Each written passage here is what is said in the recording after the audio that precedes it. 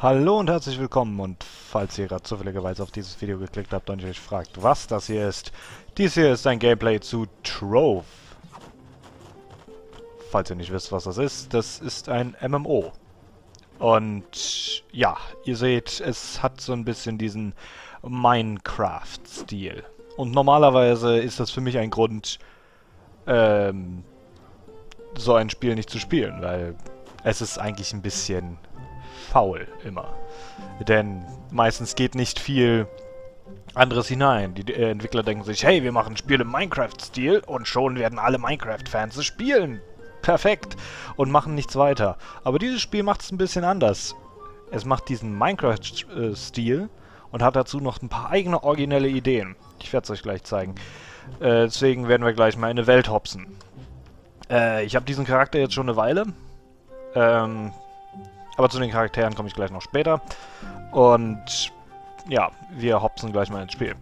Es gibt die verschiedenen Portale. Jedes Portal schickt dich in eine andere Schwierigkeit von Welt. Und da mein Charakter jetzt schon ziemlich hochlevelig ist, werde ich ein schwereres nehmen, aber nicht das schwerste, weil wenn ich spreche, wird mein, wisst ihr ja, leidet mein Gameplay drunter.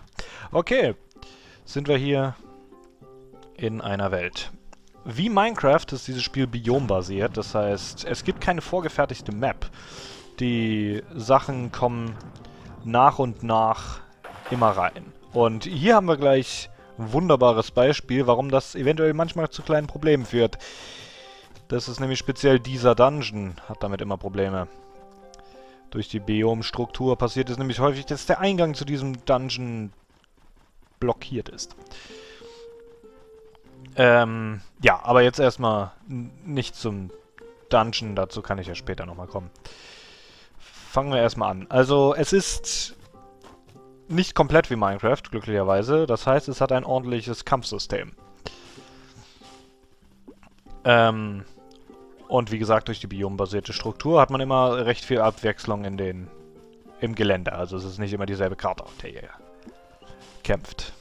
Nehmen wir uns gleich mal hier einen Gegner. Wo haben wir einen? Da haben wir ein paar Bienen. Also, ich bin jetzt ein Barbar. Typische DPS-Klasse, hat zwei Waffen. Und jede Klasse hat drei Fähigkeiten. Mein, äh, die erste Fähigkeit hat man von Anfang an, die wird mit Rechtsklick aktiviert. Das wäre bei mir dieser Spin. Später kriegt man dann die Fähigkeit auf der 1, das wäre bei mir dieser Sprungangriff.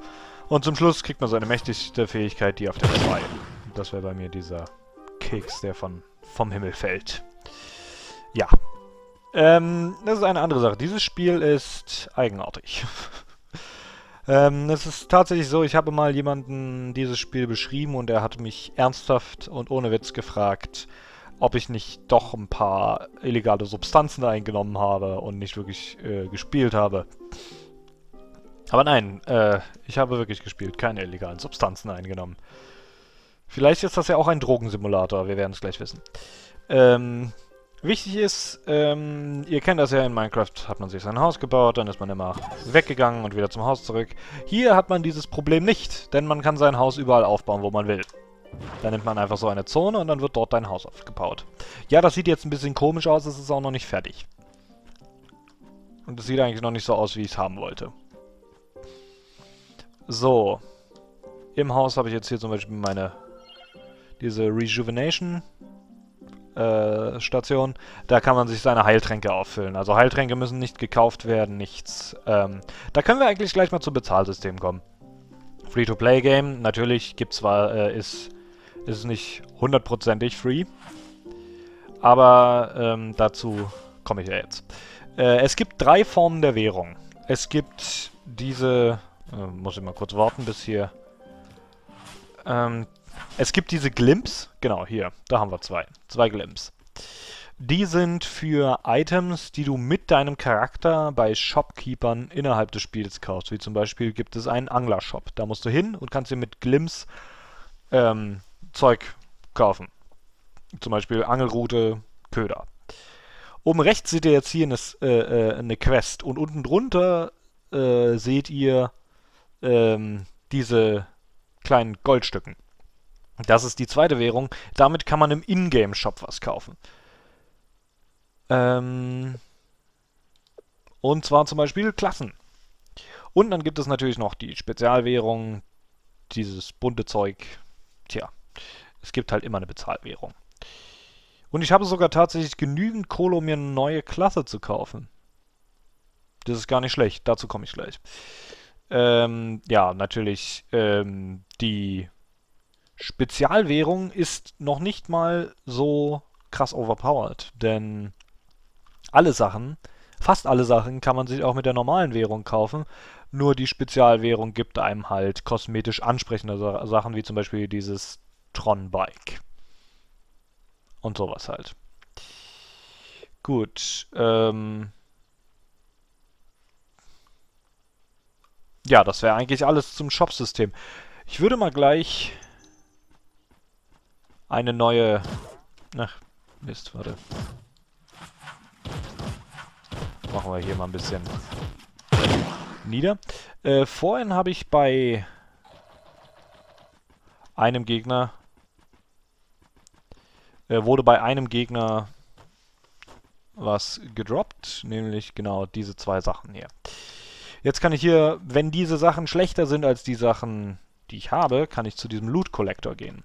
Dort kann ich die reinsetzen, akzeptieren und dann habe ich die gesammelt. Dieses Spiel ist wirklich sehr stark aufs Sammeln fixiert. Jetzt können wir hier nämlich in den Charakterbildschirm gehen und ich kann, wo habe ich, was ist das für eine Landschaft? Ich glaube, wir sind Ach nee, war ein legendäres Item. Und ja, jetzt kann ich auf legendäre Items gehen und dieses Item auswählen, dass es ich halt so angezeigt werde. Und das ist dann rein kosmetisch, was ich extra hervorhebe, da ich das ein geniales System finde, weil in anderen MMOs nervt es mich immer, dass ich einen gut aussehenden Charakter äh, verunstalten muss, dadurch, dass ich ihm eine Axt gebe, die ich total hässlich finde, die ich aber benutzen muss, weil sie besser ist. Tja. Ähm, gut, gehen, jetzt kommen wir natürlich noch zu einer anderen Sache, dem Crafting, also dem Minecrafting. Es gibt natürlich normales Craften, dafür hat man äh, Crafting-Tische, an denen man dann Sachen zusammenbauen kann. Die könnte ich eigentlich auch mal aufstellen. So. Ähm. Hier. So. Und so. Dann können wir die hier aufstellen. Und ja, Linksklick bauen, Rechtsklick abbauen. Ziemlich Standard. So. Ihr seht, äh, wie weit ihr mit dem Abbauen fortgeschritten seid, sieht man dann immer an diesen, äh, je dunkler das Objekt wird. So, schon Schon haben wir ein bisschen was äh, aufgebaut. Gut, äh, und dann gibt es halt an der Crafting Bench, kann man dann halt rangehen und verschiedene Sachen bauen. Dafür muss man dann halt Ressourcen sammeln. Und dadurch, äh, dafür geht man dann halt durch die Welt und kann sich Sachen sammeln. Was ist das denn? Okay. Äh, das ist nur was für die Clubwelt. Ja, Clubs, ähm, das sind sowas, so die Draw-Version von Gilden. Sind halt Clubs. Ja, gar nicht mal schlecht. Gut, jetzt gehe ich mal auch auf Neuland und hole mir eine neue Klasse. Ähm, Ganzlinge oder Knight? Gut, ich hatte die ganze Zeit eine Nahkampfklasse, nehme ich meine Fernkampfklasse. Gut. Freigeschaltet. Und schon bin ich einer. Aber, wenn ich jetzt in mein Inventar gehe und dieses kleine Item hier aufstelle, dann kann ich jederzeit meine Klassen wieder wechseln. So.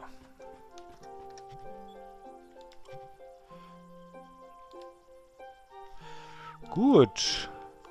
Natürlich äh, äh, werden die Waffen, die ich mit meinem Barbaren äh, einge äh, eingesammelt haben, habe, nicht übernommen. Je lediglich die ganzen kosmetischen Sachen. Also hier so Hüte und und das alles wird halt übernommen. Aber ansonsten, die Waffen muss ich halt alle neu sammeln. Und mir fällt gerade ein, Moment mal, wenn ich jetzt eine Klasse auf Level 1 habe, dann ist mein Level ja viel zu niedrig dafür, um in so einer hochleveligen Region anzufangen. Das ist ganz einfach, da drücken wir einfach H und schon kommen wir wieder ab in die Hub World. Also alles recht einfach designt. Man kommt schneller rum. Und jetzt werde ich mal kurz das Mount wechseln, weil das Starter-Mount ist etwas sehr langsam. So. Gehen wir natürlich jetzt in eine einfache Welt. Und jetzt kann ich ja äh, tatsächlich endlich mal den Kampf zeigen, weswegen ich dieses Video eigentlich mache. Denn man darf dieses Spiel nicht unterschätzen. Es mag zwar kindlich aussehen, aber... Oh, lieber Mann, das kann schwer werden. Jetzt natürlich in so einer einfachen Welt nicht, aber in den höheren Schwierigkeiten, auf denen man dann später spielen muss, wie zum Beispiel der Über... Äh, Uber Difficulty, wie sie heißt. Ähm, tja, ähm, die man, zum, äh, die man zum Beispiel machen muss, um gewisse Quests zu erfüllen, wie zum Beispiel die, die ich gerade machen muss. Äh, ja, also ich bin schon einige Male ganz übel gestorben. Es gibt natürlich äh, ein paar wichtige Regeln beim Kampf. Da hat man als allererstes natürlich, äh, wie gesagt, Linksklick mit dem Linksklick normaler Angriff, Rechtsklick Spezialangriff und so weiter und so fort. Hatte ich hier schon alles erklärt. Aber außerdem hat man die Taste Shift. Und warum ist die Taste Shift wichtig? Weil damit kann man rollen. Das ist vor allen Dingen wichtig, da größere Gegner äh, ihre schwereren Angriffe aufladen. Man innerhalb der Zeit genau solche schwereren Angriffe meine ich. Und damit innerhalb, äh, während sie aufladen, hat man dann halt äh, Zeit wegzurollen. Denn wenn man getroffen wird, wird man entweder sehr weit weggeschleudert oder kriegt enorm viel Schaden. Und vor allen Dingen auf der wirklich schweren, auf den wirklich hohen Schwierigkeitsgrad äh, kann ein einziger Treffer von, von so einer Spezialattacke dich sofort töten, wenn es ein Boss ist. Und dann machen wir gleich mal einen Dungeon hier. Wurde der eigentlich schon gemacht? Nein, der wurde noch nicht gemacht. Denn wenn er schon gemacht worden wäre, dann hätte man ein großes X drüber gesehen. Was ich äußerst fair finde, da man durch die Biomstruktur ja nie wirklich weiß, ob schon einer da war oder nicht. Und die Respawns dauern eine Weile.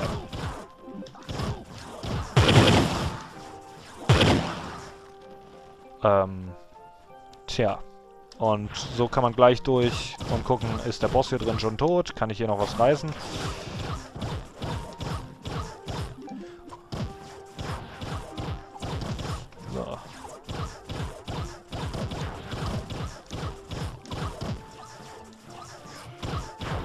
Recht cool. Der Typ hier kann schweben. So. Da haben wir ihn fertig gemacht. Dann müssen wir nur die... die Kiste zerschießen und schon können wir hier das ganze Zeug einsammeln. Wunderbar. Und weiter geht's. Ja, und das ist Trove. Ähm, man, man craftet, man äh, sammelt Ressourcen ein und man hat halt äh, äh, kleine Abenteuer in den Dungeons. Und das Abenteuer ist wirklich, was dieses Spiel für mich so interessant macht. Wie gesagt, ich bin überhaupt kein Fan von diesem Minecraft-Art-Stil. Ich meine, ich liebe Pixel-Art und dreidimensionale Pixel-Art ist ziemlich cool, aber meistens machen die Leute nicht viel damit. Man kann wesentlich mehr machen mit, äh, mit diesem Grafikstil, als Minecraft es tut. Und ähm, ähm, deswegen äh, finde ich es sehr gut, dass es, äh, dass dieses Spiel halt ähm, auch mal ein bisschen anders rangeht, ein bisschen andere Grafik macht und äh, also andere Sachen macht als Minecraft, weil die Grafik ist ja im Grunde genommen sehr ähnlich.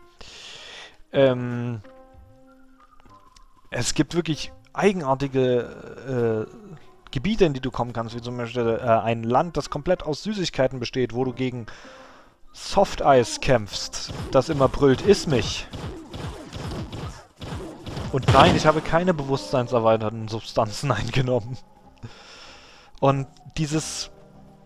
Es hat dieses Abenteuergefühl. man, man geht, das ist mir zum Beispiel mal passiert, ich bin einfach nur rausgegangen, um ein bisschen Erz einzusammeln, weil ich was craften musste. Aber ich habe am Horizont irgendwas gesehen, das total interessant aussah.